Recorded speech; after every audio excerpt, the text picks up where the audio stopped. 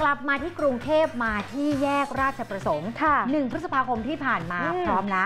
ศาลเท้ามหาพรหมใช่ค่ะเปิดให้ประชาชนเข้าไปกราบสักการะได้ใช่ไหมคะเจ๊และหนึ่งสิ่งที่อืมอยู่คู่กับสารเท้ามหาพรหมก็คือ คณะนางรำแก้บนด้านหลังของเราต่อไปนี้นางรำไม่ได้มีแต่ชดาและชุดอย่างเดียวค่ะเฟสชิลต้องมีนะไปดูภาพกันค่ะเชิญค่ะ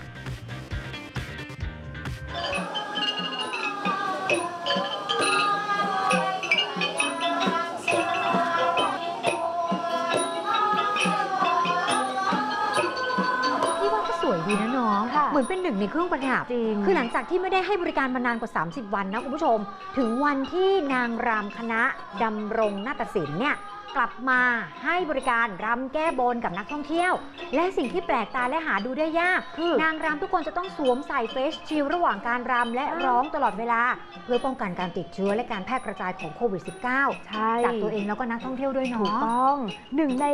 คณะนางรำแก้บนเนี่ยชื่อว่าคุณรัตติวันเตะอ้วนนะค่ะเล่าให้ฟังแบบนี้ว่าการหันมาสวมใส่เฟสชิลเนี่ยเป็นหนึ่งในแนวทางอะค่ะที่ทำให้นางรำเนี่ยกลับมาทำงานได้แบบไม่ต้องกังวลใจอีกต่อไป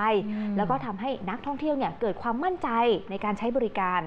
แม้การสวมใส่อุปกรณ์ป้องกันเนี่ยจะทำให้รู้สึกว่ามันอึดอัดบ้างอะค่ะ แต่ก็ถือว่าเป็นส่วนหนึ่งในการรับผิดชอบต่อสังคมค่ะ เราไปฟังเสียงสักนิดนึงเนาะเชิญค่ะ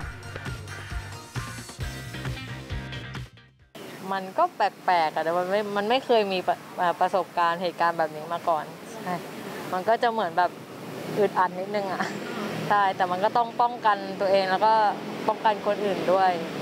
แต่ว่าในการรำที่เราที่เราไปนั่งอยู่ตรงนั้น แล้วเราร้องเราใส่แมสไม่ได้เพราะว่าบางทีเจ้าภาพจะไม่ได้ยินชื่อ เขาก็จะให้เรารำใหม่อีกทีอย่างเงี้ย มันก็เลยต้องใช้ตัวนี้แค่ตัวเดียว เราก็ต้องกลับมาทำหน้าที่เราอะเนาะก็เหมือนว่า ตรงนี้มันก็คืออาชีพงานหลักของเรา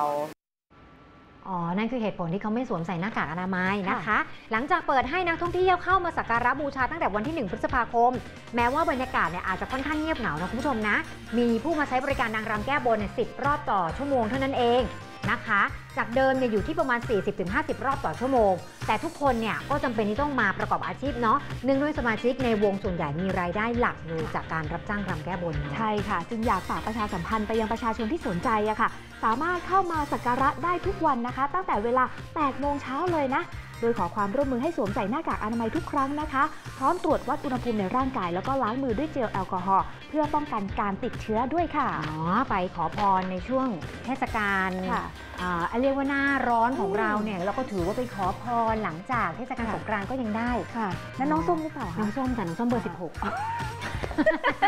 16 ขอบคุณคุณผู้ชมที่ติดตาม TNN ช่อง 16 อย่าลืมกด subscribe และกดกระดิ่งกันนะคะ เรายังมีวิดีโอที่น่าสนใจอีกเพียบ และถ้าหากคุณผู้ชมไม่อยากพลาดการติดตามรับชมแบบสดๆ อย่าลืมติดตามผ่านทาง Facebook TNN Live หรือผ่านช่องทางอื่นได้อย่างสะดวกและง่ายดายมากๆ เพียงแค่กดลิงก์ใต้วิดีโอนี้ค่ะ